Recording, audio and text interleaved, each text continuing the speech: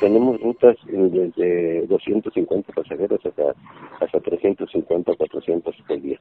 Es muy irregular este, el número de pasajeros y porque no es no es una no es un ingreso constante.